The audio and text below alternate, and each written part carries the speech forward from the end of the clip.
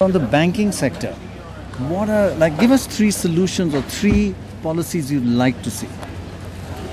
I think uh, I'm totally convinced that uh, the policy framework in Indian banking is uh, converging.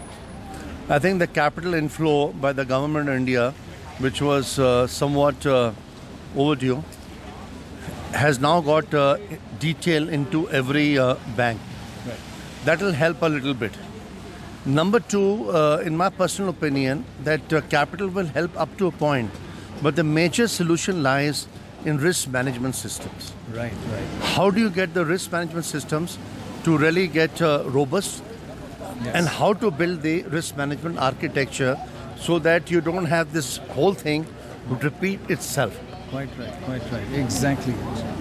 Number two, uh, my recommendation would be that uh, we must realize one thing that India is about segmentation. That all industry risk is about uh, how to analyze a single industry and see the risk. Because we are a very heterogeneous country. And cement may be different in different parts of the world, as may be steel and as may be many other industry. So we must understand the segmentation risk is another very important Right. aspect of how we analyze risk management in the banking system. And I think the third thing which I, I would like to amplify that uh, for banking to come back to a permanent cure is uh, how you build your board architecture and you build your uh, management architecture. And that must be so empowered and accountable that even when you're there and after you're there, it must have traceability and must have trust in the decision making which is manifested in Indian banking.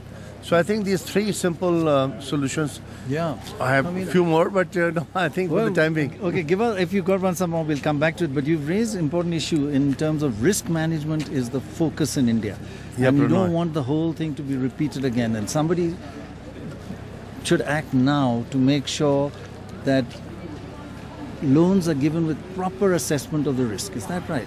Uh, sorry, carry on. No, it can be done.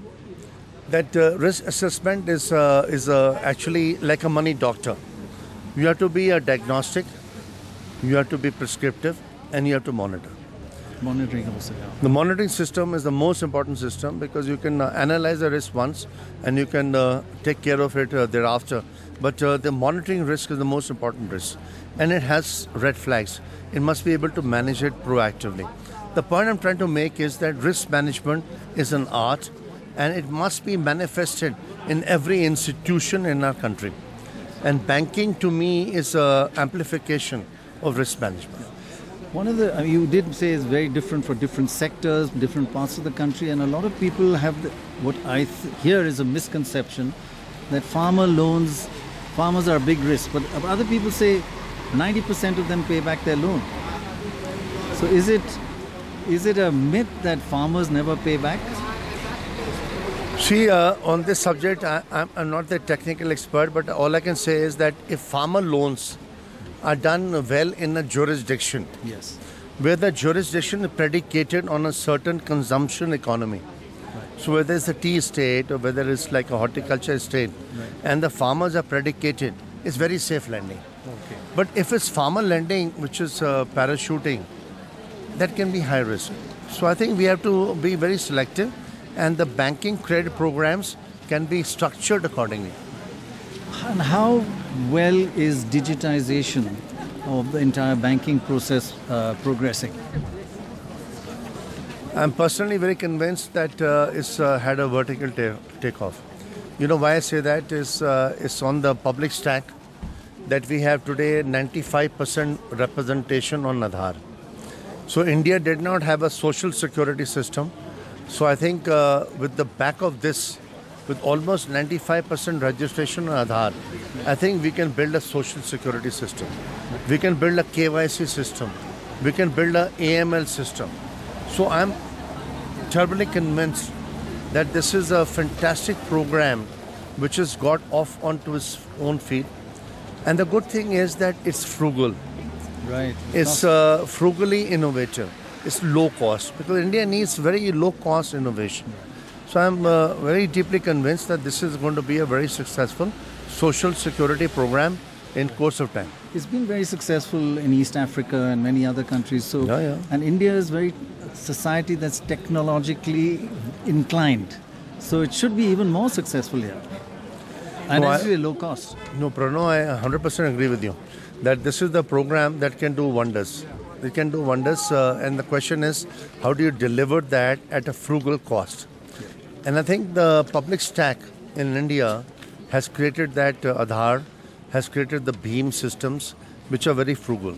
So I think it will create a very uh, efficient delivery system with reasonable productivity.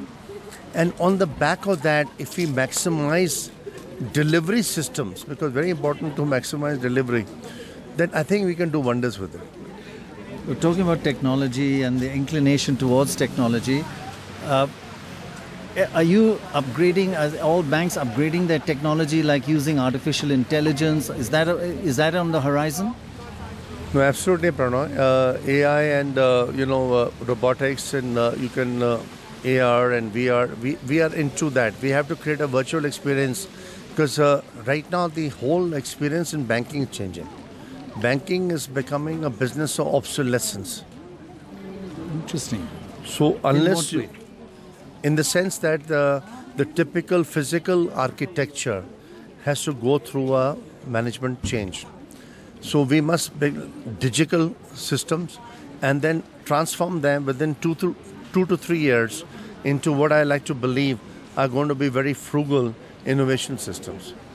That uh, whole banking is going to be accessed in India through digitalization, and I personally believe that the physical part of it is going to be relevant to senior communities who are going to see nice brands sticking it out there.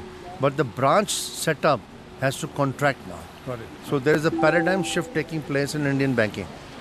And are you taking a lot of care to ensure privacy and uh, anonymity and uh, uh, avoiding any big brother aspects in banking or in any other sector? No, you are absolutely right that uh, in the sense that uh, security systems, cyber security included, are uh, paramount in Indian banking. So all the uh, security features, whether it's uh, driven by blockchain, whether driven by security uh, aspects, with the filters in place, I think Indian banking is in very well, very well conditioned. And the good thing is our cost structures are very reasonable. Blockchain is great. Are you introducing that? We have introduced that through uh, API systems uh, for uh, vendors and distributors, but we have not done that well enough today into retail systems. Uh, my second last question What do you think of Bitcoin? I'm a little, uh, you know, uh, of a pessimist, Cautious. uh, a little cautious about uh, the future of uh, bitcoins. But I personally believe that this is a shift which is going to force the rest of the world. So we may be on the back foot right now, so am I. But I think this is the shift which is going to make a big difference in the future. We'll have to live with it. When anything technical or huge change comes in, everybody's skeptical. But then, as you say, it's going to. It could be the future. I personally believe it's uh, the cautious future. It has to be filtered with risk management systems, security management systems, but it's inevitable. It's ine- Bitcoins are inevitable. That's very or cryptocurrency. And uh, last question: You are an observer of the financial world in India. What would you like to see in the budget? I think in the budget uh, we are looking at uh, naturally this uh, being very significant in terms of being able to uh, create more and more business creation. I think what we need is the economy to get on a, a strong spurt.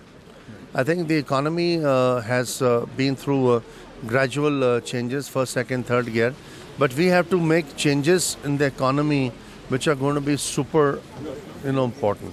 What do I mean by that? That I think the corporate tax rate has to come down sharply.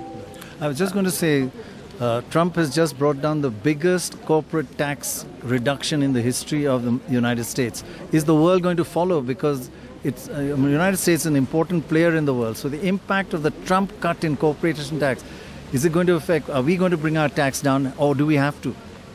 Now, Prannoy, I 100% agree with you that uh, we must bring down corporate tax rates because uh, we must get uh, private investment to crowd in.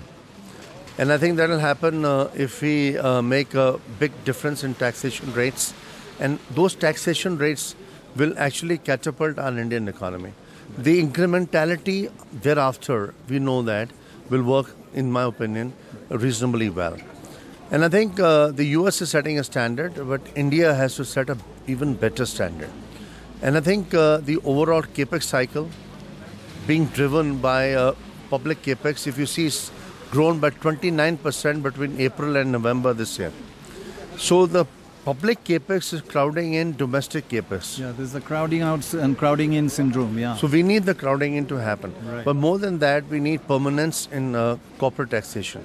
And I think there's a message here in this budget which is very important that we must exude. That's a very good point. I hope the finance minister is taking notes and listening to this. Thank you very much, and congratulations on the on your success. Thank well you. done.